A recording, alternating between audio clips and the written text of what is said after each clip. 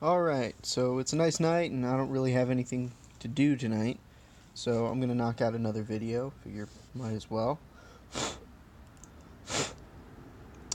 Um, today's video is on Porcellio scaber, um, a staple in the isopod hobby and the bioactive hobby.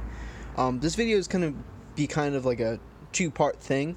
Um, most of it's going to be about the care of Porcellio scaber, but the other is going to be um, basically my thoughts on Porcellio scaber as um, as far as it goes towards uh, using it in bioactive setups. So um, this is their enclosure. Um, it's another tall shoebox from the container sco- store. A couple inches of substrate, kind of tapers off down towards the end.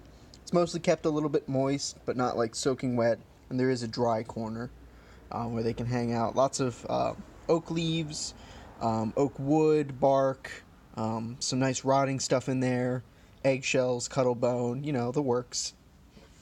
Um, so I'll pause real quick so I can uh, show you them. So here we are. Um, by the way, this is the uh, koi variety of Porcellio scaber, Porcellio scaber koi. Um, there's a bunch of different um, morphs or color varieties of scaber. Um, there's white ones. There's uh, orange. They also call them giant orange sometimes. Um, there's calicos. Uh, there's the orange koi. There's Dalmatian, dairy cow, orange Dalmatian.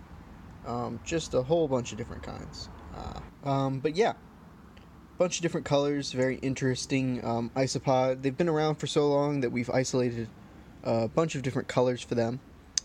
Let me get my macro lens. Might as well get my macro lens out.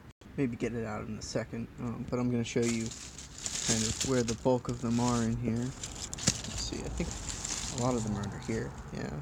Some under here. Um, I really like the koi morph. This is the only morph of Scaber I have. I only have kois. Um, I figured if I was going to get Scabers, I would get the one that I like best.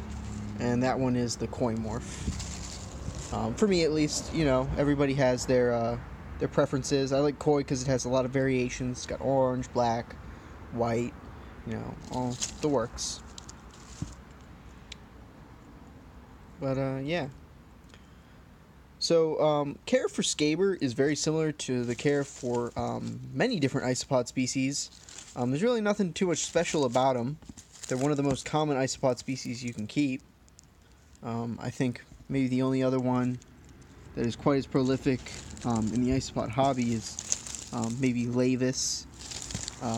Then of course maculatum and the dwarf species because people like them as cleaners.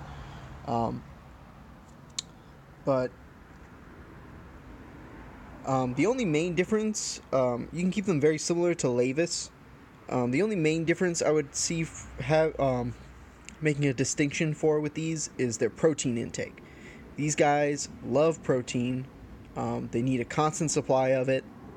Um, I like to use fish flakes. Hold on, there's a plane coming. I'm gonna pause that way you don't have to. Planes passed. I like to use these fish flakes, the little cichlid pellets. There's a ton of them in here. They can each have their own little pellet and walk off with it. It's really funny to watch them walk off with it. Uh, when you look at for fish food, you want to make sure that first ingredient is fish and it's mostly really high in protein, at least 30% protein, because that's the whole point of feeding them. Um, if you want to feed wheat, you'd feed wheat, so we don't want a ton of wheat in here, mostly protein. Um, let's take a look. See if I can't find. I'll attach the macro lens right now. It's a nice uh, darker one along with a lighter one. They're kind of similar to calicos, the kois. Main difference being that they have orange, whereas the calicos I don't think normally have orange on them. There's a couple hanging out in a crevice. Oh my god, another plane! God. Okay, plane's mostly gone. So here's a kind of up close look at them and all their different color variations. Let's see if I can find. Uh, there's a nice one in there. Yeah, I really like these. Um, main reason I got the koi variety is because um, I really like koi fish, but I don't have the space for koi fish. So uh, these are a nice little alternative. Um, so now that I've kind of shown you these and how to take care of them, um, I'll get to kind of a little cautionary warning with these guys. Um, a lot of people try to sell you these as uh, a bioactive cleanup crew.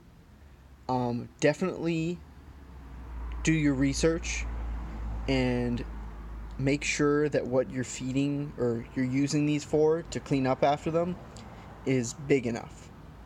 Because Scaber are extremely protein aggressive. And I have my own stories, and other hobbyists have corroborated my stories of these guys um, basically acting like little piranha when not given enough protein and eating um, animals, um, mostly smaller geckos and frogs and invertebrates, when they don't have enough protein. Another plant. Okay. Another plane gone. So, um, basically, what I'm getting at here is to be careful with what you put these guys in with. Because I have known people that spent a lot of their hard earned money on a fancy gecko like one of the new Caledonian geckos. Um, bought it, had it well established and super healthy, and then suddenly one day found it um, skeletized, just completely gone. Um, and it was perfectly healthy the day before, and they just lost their, you know, four or five hundred dollar plus investment, like Chahouas and uh, the giant gecko, the the Leachianus, also cresties and gargoyles. Um, not to mention your expensive frogs, um, just eaten alive. Well, maybe not alive, but you know you get the point. Um, I've even done tests where I've taken um, pre-killed or not pre-killed, maybe like slightly damaged roaches, um, or other small um, frozen thawed feeders, and just dropped them in there, and they watch them, and they, or I watch them devour them like piranha. Another plane, God, it's like all the planes gotta land right now. Anyways, so yeah, you get the point. Scaber, definitely uh, be cautious of what you use them for cleanup crews for. Um, I think for your larger reptiles, like if you have a monitor or like um, a big rat snake or something like that, you're fine. You shouldn't have to worry about anything.